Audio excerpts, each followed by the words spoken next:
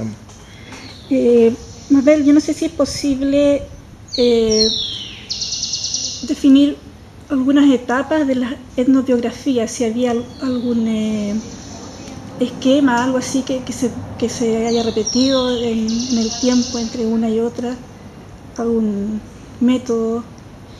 Si fueron etapas, vos decís, eta- si, si yo pudiera decir que son etapas en periodos de tiempo, te diría que las etnografías entran después, vamos a suponer que la carrera de Jorge, hablo más de la de Jorge que la de mía, porque yo colaboraba, él era el que realmente hacía las películas, eh, empieza, vamos a suponer, si la carrera tiene 10, pun- 10 etapas, las cuatro primeras no son etnobiografías, las cuatro primeras él las llama de auto, como autodidacta, de autoaprendizaje. Son películas educacionales, películas que, que documentan eh, conductas, como por ejemplo fiestas o trabajos, pero de una forma un poquito distante, es decir, que tenía miedo de acercarse a la gente y se acercaba con la cámara hasta donde le- a él le resultaba cómodo.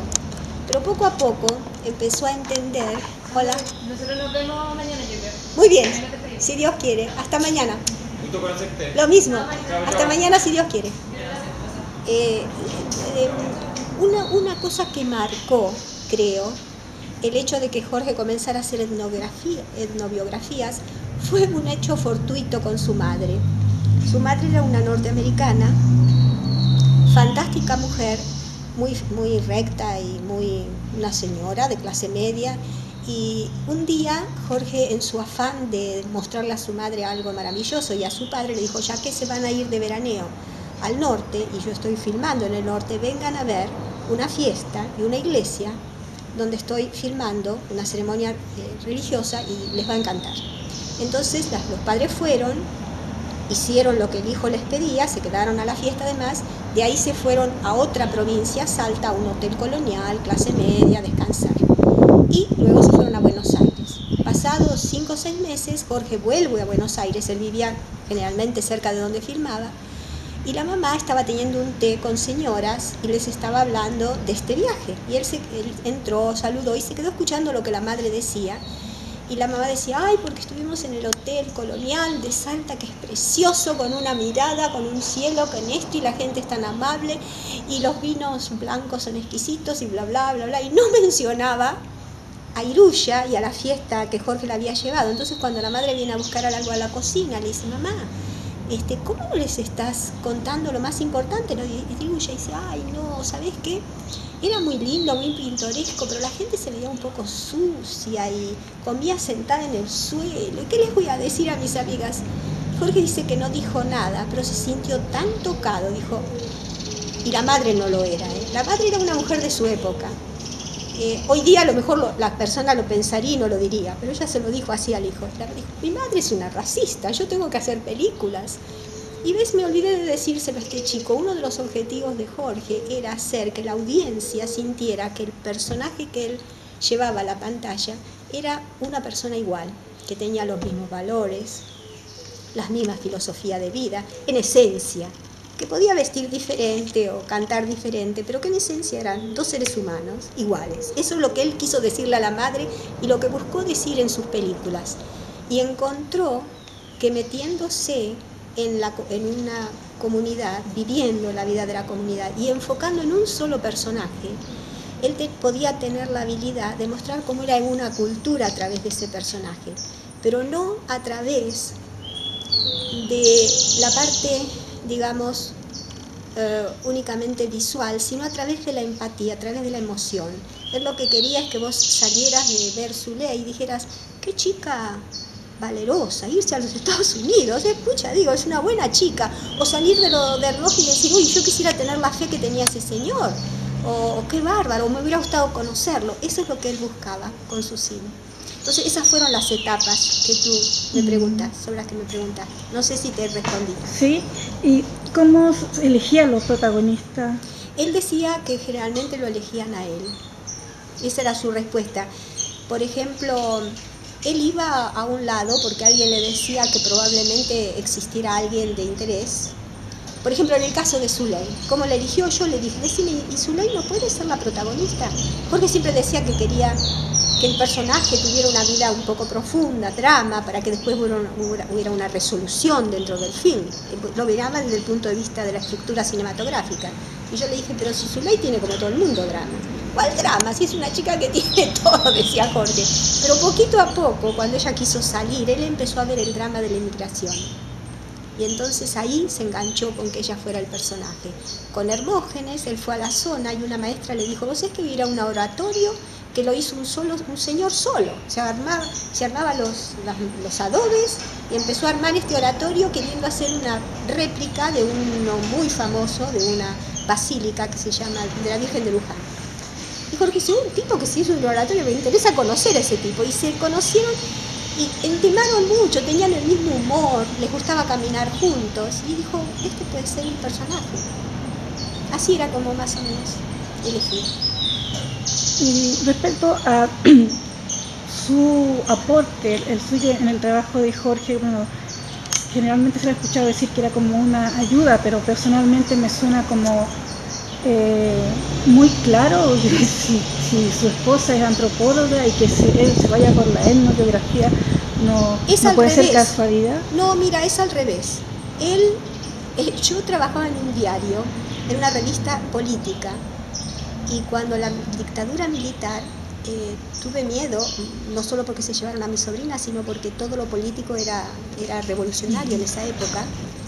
Y, y me fui a los Estados Unidos. Y como yo ya lo estaba ayudando a él en la parte práctica de hacer cine, como te digo, él no tenía mucha idea de la economía, este, o a veces, muchas veces en las culturas que nosotros visitábamos, era, era mejor que yo me dedicara a charlar con las señoras y él con los hombres.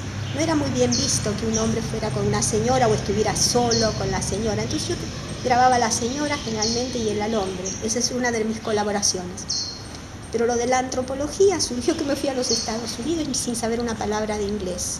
Me puse a estudiar inglés, me aburría como una loca. Entonces dije, lo que voy a hacer es ir por la universidad y entraba a las clases y escuchaba a ver si entendía algo no le entendía casi a ninguna, pero la clase que más me resultaba agradable estar en las de antropología, porque era algo que me interesaba. Y, para poder estudiar inglés, empecé a tomar antropología, para forzarme además a tratar de entender lo que leía. Y tomaba una materia de inglés y una de antropología. Y así me fui metiendo y cada vez me interesó más. Y te digo que en un momento dado yo sentí que la antropología me había ayudado mucho a nivel personal a entender mi vida, a entender la vida de los demás, a ser mucho más flexible con mi propia vida. Es decir, me servía a nivel personal. Y así elegí antropología. Eh, respecto al legado de Jorge, ¿hay actualmente algún director, alguien que, se puede decir que tomó eh, lo de las etnobiografías exactamente o alguna otra influencia es, cineastas. Hay uno en Argentina que acaba de hacer una película sobre Jorge. Ah, y ese es, em, Fermín Rivera. Y él y otros filmadores en Argentina y también en los Estados Unidos empezaron a tomar esta idea de la etnobiografía y lo que hacían en cierta forma dice que son alumnos de Jorge. Ellos filmaban, al, estilo de Jorge, filmaban un poco en forma autodidacta, pero cuando armaban el material se lo, se lo mandaban y Jorge les, se los revisaba a pie juntillas y, hablaban y hablaban y les daba mucho ¿no? de, lo que él pensaba, hay un, gran intercambio. Y entonces ellos terminaban sus películas. Fermín Rivera hizo una película sobre un luthier, un señor paralítico, que hacía, este, acaba de fallecer, por eso hacía, eh, hacía mm, guitarras, eh, preciosas guitarras, y es un ejemplo de vida ese señor, porque tomó su disabilidad, ¿cómo se llama? Disability, enfermedad, su, lo tomó con una entereza. Esa era otra de las cosas que Jorge siempre buscaba en el personaje, que aunque estuviera en las circunstancias económicas o físicas más horribles, fuera gente que tuviera como la esperanza de salir, la fe, la, eso buscaba en sus personajes. Igual lo vas a ver en casi todas las películas, gente fuerte, gente que tiene como, que no está deprimida al, al decir, bueno, ya tiré la toalla, no. Hay gente que siempre está tratando de... Yo creo.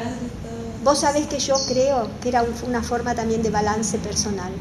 De nutrirse de esa energía. Exacto, sí.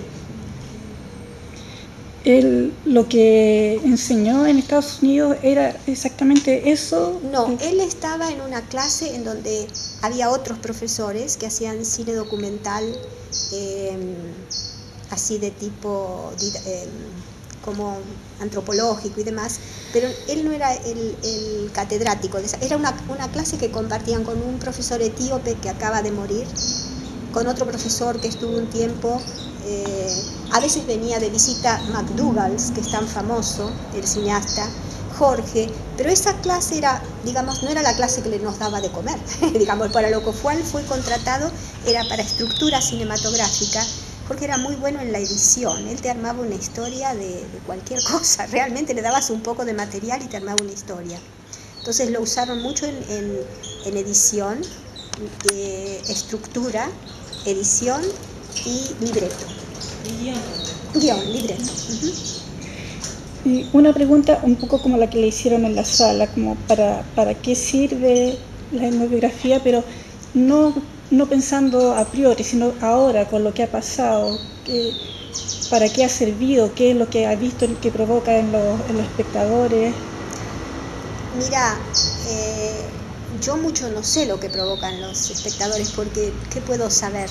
Por ejemplo, una chica ahí me, se dio vuelta y me dijo, yo salgo de acá queriendo hacer esto. No sé si lo voy a hacer así, pero esto es lo que quiero hacer sin ninguna duda.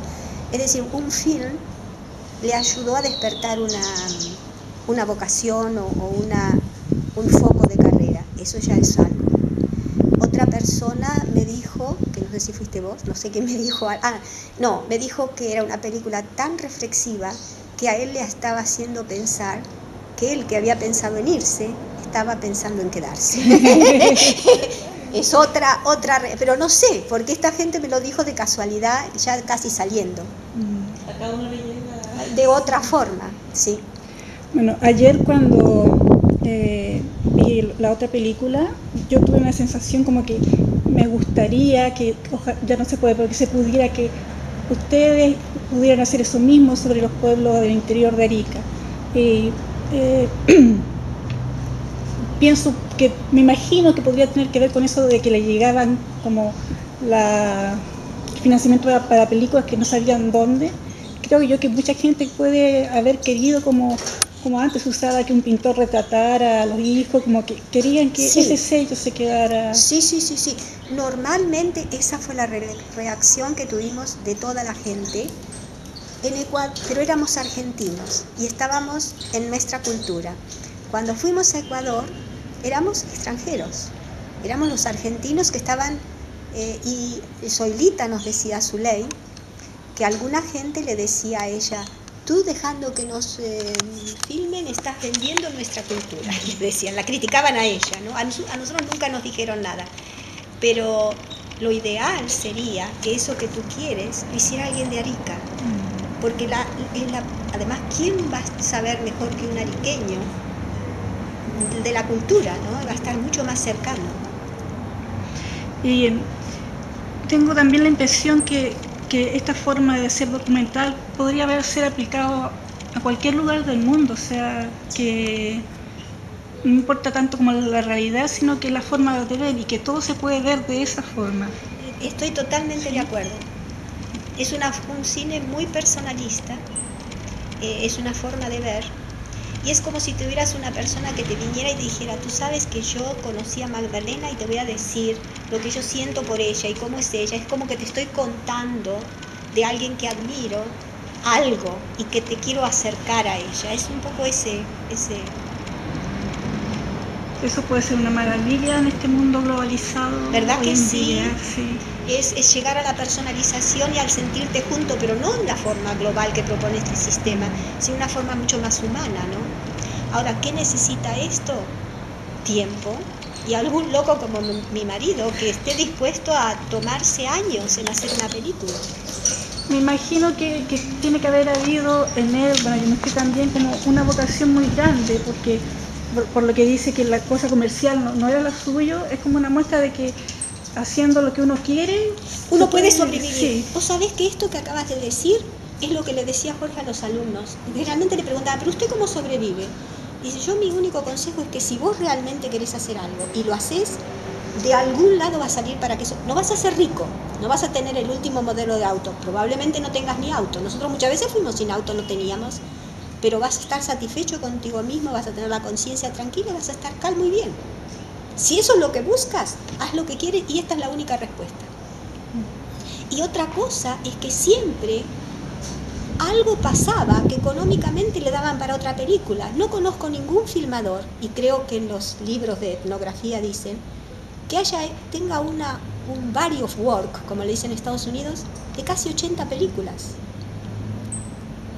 Eh, largas, además, porque pueden tener a lo mejor 3 minutos, 4 minutos. No, son películas de una hora, dos horas. Hizo una serie totalmente didáctica de 7 horas, con 46 científicos. Eso. Muchas gracias. No tienes por qué. Fue un gusto también.